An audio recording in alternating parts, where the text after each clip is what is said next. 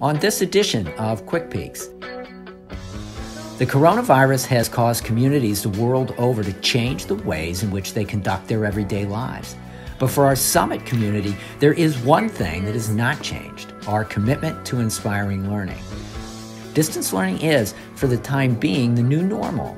So today, I want to show you some of the extraordinary work being done by Summit teachers and students as they harness the digital toolbox to keep teaching and learning interactive and fun. I'm Michael Ebling. So this is Flipgrid to tell us good morning, and then I would like for you to show us where you've got your home office set up. Hi guys, it's me. I do have some color pencils. Oh, and a highlighter. And can't forget my amazing math book. And I'm going to go over this information in this recording, but I've also sent a copy of the PDF to you so that you can go over it on your own. Over the past two weeks, Summit teachers have been crafting digital versions of their curriculum in order to allow students the chance to keep their skills and minds sharp during this unique challenge.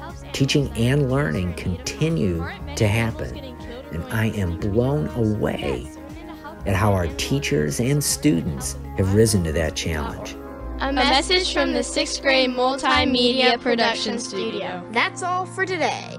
I'm Schaffer. I'm Skylar. I'm Sarah. And this is Screaming Owl Radio, our school, local music. Along with writing, the Shang also had music including drums, cymbals, bells, and bone flutes. They created a lunar calendar based on the. So, this is the book I'm reading. It's called The Magic School Bus Takes a Nap, and it reminded me of the time I was learning how to back away from black bears.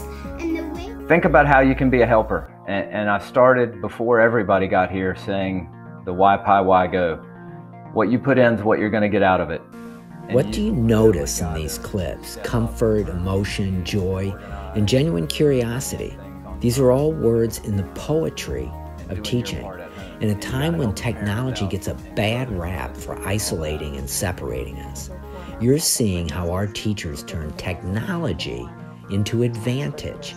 Our teachers have created spaces for the individual child to show up, and the students own those spaces. Times both things, but you're distributing a negative.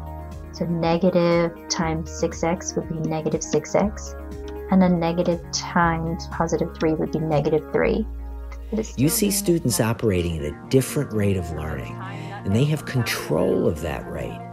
It's what community looks like on a screen and this sudden new world experiment thrust upon us will result in understanding and approaches that will make us all better teachers, better learners, and make Summit a better school. What does dry rot mean? So, dry rot is when wood gets um, wet. Different. I have added to the top of the list be patient. We're going through a very difficult time. We want to be together. I want to be doing this with you. We are all giving up many. I'm so proud of our entire community as we all work together to ease into this new and hopefully brief distance learning environment. I look forward to all of us being back together on our campus, a place where we have come to value and appreciate our relationships. In the meantime, please know that we are all in for Quick Peaks, I'm Michael Ebling. You are my sunshine, my only sunshine. You make me happy You'll never know, dear, how much I love you. Please don't take my sunshine away.